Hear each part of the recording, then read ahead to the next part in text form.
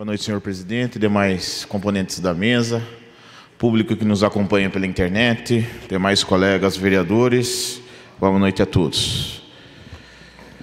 Na verdade, serei breve, mas é mais para relatar uma resposta de um requerimento, né, um assunto que a gente vem abordando há algum tempo, mas eu espero um posicionamento por parte do Poder Executivo acerca dessa, desse questionamento que fizemos. No ano que vem, foi prometido ao corpo docente do município é, a equiparação, inclusive o presidente que se faz presente esteve nas reuniões da gestão participativa, juntamente com o vereador Bruno, é, e anunciaram essa benéfica junto aos aos docentes que há alguns anos vêm pleiteando é, e buscando essa equiparação salarial. Né? E para isso, nós extinguimos o plano de metas. Nós, através de uma lei, nós acabamos extinguindo o plano de metas para que seja feita essa equiparação, pois o município não teria orçamento para fazê-lo. No entanto, venho aqui buscando algumas respostas e quando eu é, indago a secretária, por exemplo, ela me responde aqui que está no setor de contabilidade e esperando os devidos parâmetros legais. Vou até fazer a leitura da resposta do requerimento. Né?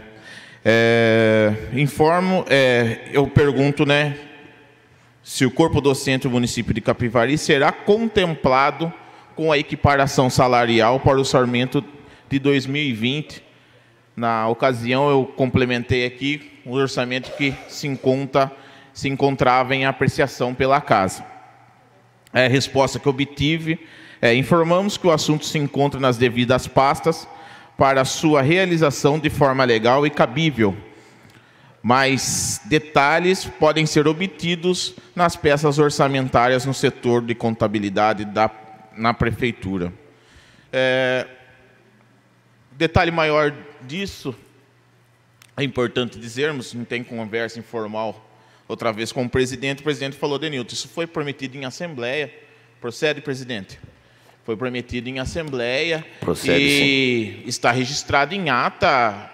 Eu acredito que seja impossível que os professores não sejam contemplados, mas eu gostaria de mais essa confirmação por parte do Poder Executivo, né, uma resposta no requerimento, é, onde deixassem os professores mais tranquilos, pois a gente vem sendo questionado junto a eles, né, e eles encontraram na gente esse porta-voz, e eu gostaria muito que, se possível, é, o Poder Executivo e a pasta responsável, assim como foi apontado aqui no ofício 191 é, barra 2019, assinado pela secretária Marília Aparecida de Oliveira Cardoso, é, fosse, fosse confirmado pelo setor o qual ela apontou que se encontra é, esse estudo.